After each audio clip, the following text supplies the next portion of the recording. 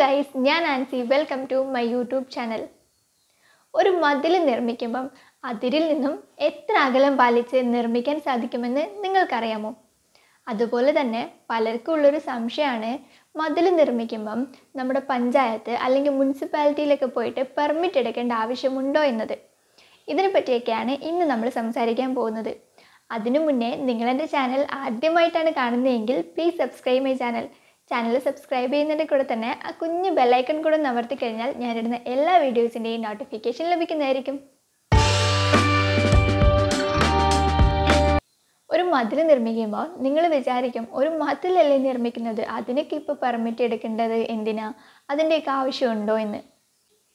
Kerala building റൂൾസിലെ മതിലുകളെ പറ്റി rule number അറുപത്തി ഒമ്പതിൽ വ്യക്തമായി പറഞ്ഞിട്ടുണ്ട്. എല്ലാ മതിലുകൾ നിർമ്മിക്കുമ്പോഴും പെർമിറ്റ് എടുക്കേണ്ട ആവശ്യമില്ല.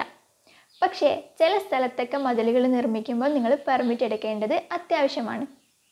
അതെവിടേക്കാന്ന് വെച്ചാൽ നിങ്ങൾ മതിൽ നിർമ്മിക്കുന്നത് ഒരു പൊതു സ്ഥലത്തിനോട് ചേർന്നോ അല്ലെങ്കിൽ ഒരു പൊതു ജലാശയത്തോട് ചേർന്നോ അല്ലെങ്കിൽ ഒരു പൊതുനിരത്തിനോട് ചേർന്നോ ആണെങ്കിൽ അത്തരം കേസിൽ നിങ്ങൾ മതിലുകൾ നിർമ്മിക്കുമ്പം പെർമിറ്റ് എടുക്കേണ്ടത് അത്യാവശ്യമാണ്.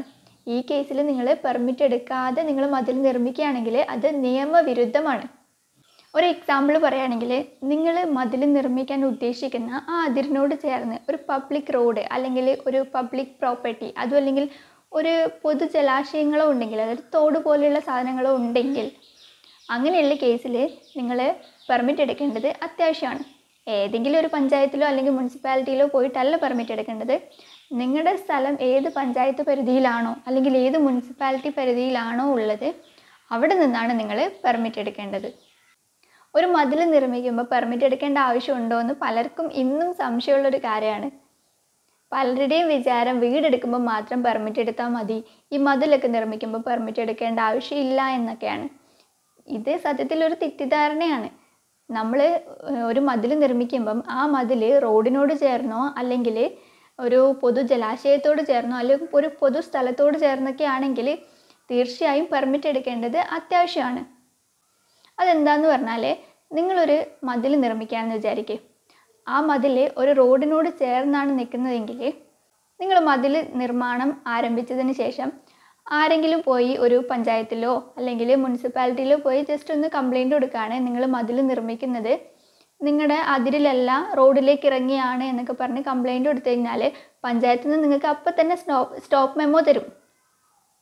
അതായത് അവർ വന്ന് ചെക്ക് ചെയ്യാതെ തന്നെ നിങ്ങൾക്ക് സ്റ്റോപ്പ് മെമ്മോ തരുന്നതായിരിക്കും. കാരണം നിങ്ങൾ പെർമിറ്റ് എടുക്കാതെയാണ് അവിടെ മതിൽ നിർമ്മിച്ചിട്ടുള്ളത്.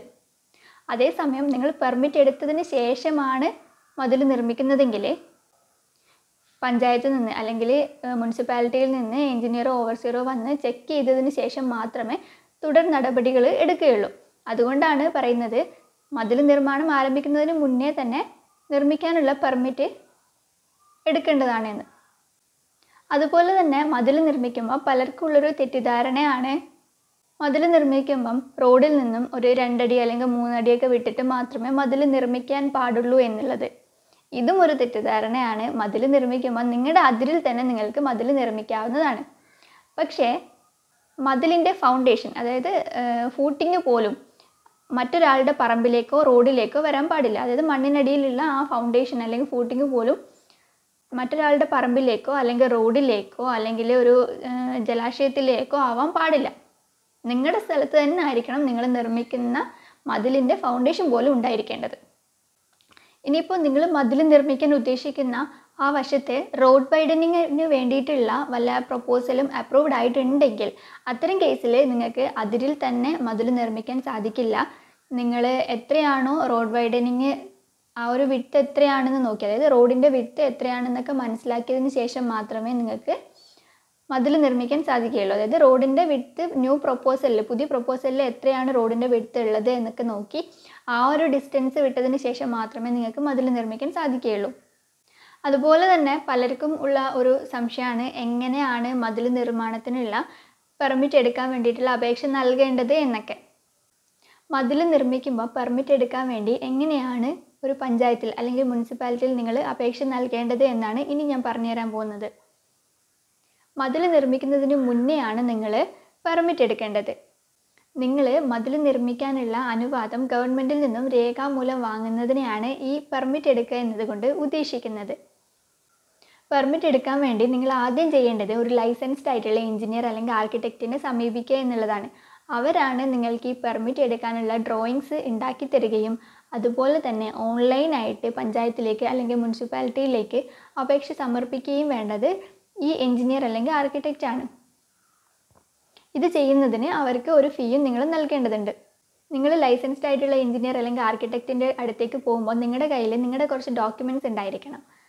ഈ ഡോക്യുമെന്റ്സ് ഒക്കെ വെച്ചിട്ടാണ് ഈ എഞ്ചിനീയർ നിങ്ങളുടെ ഓൺലൈനായിട്ട് അപ്ലൈ ചെയ്യുന്നത് പെർമിറ്റിന് വേണ്ടിയിട്ടുള്ള ആപ്ലിക്കേഷൻ നൽകുന്നത്. എന്തൊക്കെയാണെന്ന് പറഞ്ഞാൽ ആദ്യം നിങ്ങളുടെ കയ്യിൽ വേണ്ടത് നിങ്ങളുടെ ആധാരമാണ് ഡി ഡോക്യുമെന്റ് നിങ്ങൾ മതിൽ നിർമ്മിക്കാൻ ഉദ്ദേശിക്കുന്ന സ്ഥലത്തിന്റെ ആധാരം. രണ്ടാമതായിട്ട് വേണ്ടത് ലാൻഡ് ടാക്സ് ലേറ്റസ്റ്റ് ആയിട്ടുള്ള ലാൻഡ് ടാക്സ് വേണം. അതായത് നികുതി ഷീറ്റ്. ഏറ്റവും പുതിയ നികുതി ഷീറ്റ് തന്നെ വേണം.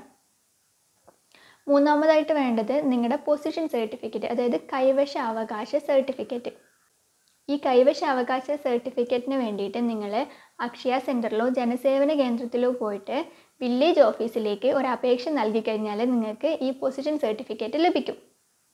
ഇത്രയും ഡോക്യുമെന്റ്സ് നിങ്ങൾ നിങ്ങളുടെ എൻജിനീയറിന്റെ അല്ലെങ്കിൽ ആർക്കിടെക്റ്റിന്റെ അടുത്ത് കൊടുത്തു കഴിഞ്ഞാൽ അവർ നിങ്ങളുടെ സ്ഥലമൊക്കെ വന്ന് അളന്ന് പ്ലാനൊക്കെ വരയ്ക്കുകയും ഓൺലൈനായിട്ട് അപേക്ഷ സമർപ്പിക്കുകയും ചെയ്യും.